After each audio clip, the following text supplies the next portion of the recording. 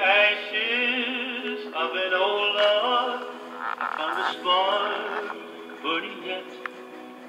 As I watched it, I kept thinking I could never forget an old love that didn't last.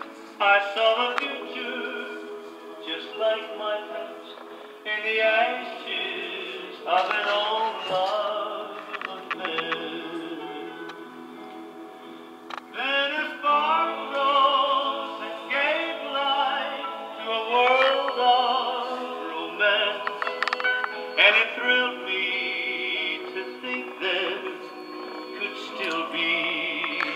a in the smoldering embers. I saw love.